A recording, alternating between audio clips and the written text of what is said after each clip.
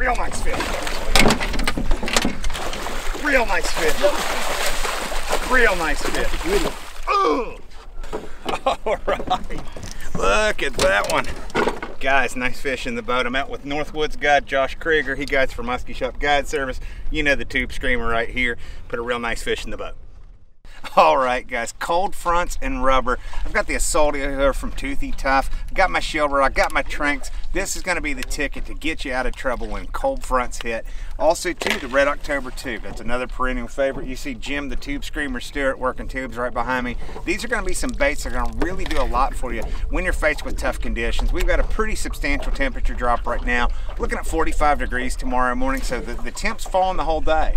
You're gonna find your bait fish, you're gonna find your muskies are relating to that deeper covering structure, and rubber really seems to pull them up. Like I said, with this assault eel, it's gonna get down, it's gonna hit the cover, it's gonna hit the weeds, and they can't stand it.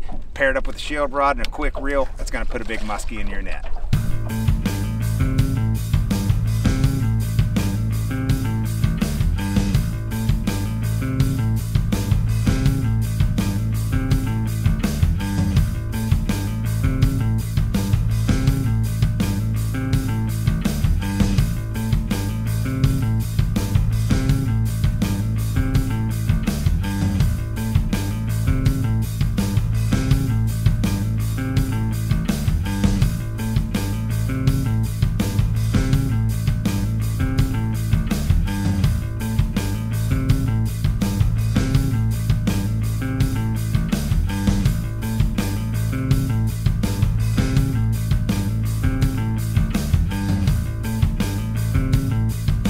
Right, guys, this is a Water Wolf Ratzilla. I got a Toothy Tuff up there. Let's talk cold fronts and big rubber. It doesn't matter if you're throwing tubes. It doesn't matter if you're throwing these pull pause baits. Rubber's gonna save you on tough days. You saw me with my good friend Josh Krieger and Jim and Jay from the Musky Shop. We grinded one out in really tough conditions.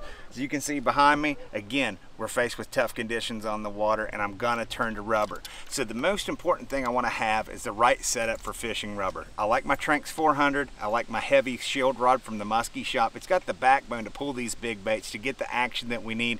Quick pickup reels are really gonna be important so when you're ripping these guys, you know, you're picking that line up fast enough that you can set the hook. So really what you wanna do when you're fishing big rubber is just be set up for success. I like an 18 inch leader with a swivel on it. It allows that bait to run a little bit better. Now when I want to make a basic throw with one of these things, I'm gonna pitch him out, pull across my body, pick up the slack, right? That's the real basic move here. We're gonna pull, pause. That's what I call them pull pause baits. But if we want to really elicit a strike, we've got to get down and dirty with these things. So a lot of times what I'm looking to do is say, look like right now I'm targeting some shoreline vegetation. I'm gonna throw this guy out there, and figure out just where that vegetation is. Let him sink down, get into the vegetation, but rip those tops, right? So I'm gonna rip, and sometimes I'll add a double pop here, just adding a little hang time, right? So each time as we're working the bait back, make sure that hang time's there, but you're ready to set the hook because he's gonna eat this thing when you're on the pause. Same thing applies for my good friend Dan over at Toothy Tuff. He makes the assault eel, one of my favorite new soft plastic baits It's got a unique hang time. You can see this big flat bottom allows this bait to just sort of linger over top of cover and structure a little bit longer than other pull pause baits, right? So when I launch this guy out over the shallow vegetation, I can allow it to hang just a second longer to get down there and entice a negative or neutral muskie. Rip in here, and when you're on the pause, be picking up that slack because that's when he's gonna light you up and put a big muskie in your net.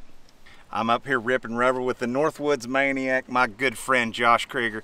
Josh, you're a guide up here. You guide for the Musky Shop. You put some big fish in the boat, but you do a lot of rubber fishing. Correct, yep.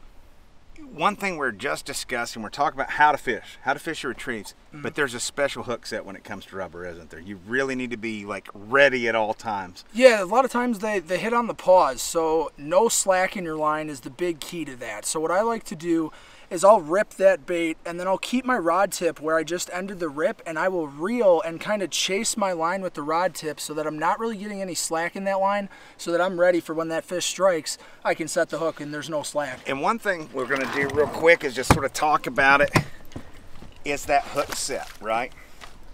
And so when we've thrown this guy out here and what Josh is saying on that rip, rip towards it and trace But when you go to set the hook on these things, you really need to set the hook because we're trying to move those teeth, that rubber through a lot of teeth. So when you've done that rip, that you need to fire back with as much pressure as you can to drive that rubber through a muskie's teeth and get a good hook set. Yep. That's probably the one thing that most people miss. So make sure on your rubber hook sets as hard as you can and keep the pressure on because they're, they're easier to shake than maybe a bucktail. Keep the pressure on that fish and he's going to end up in your net. Musky Shop TV.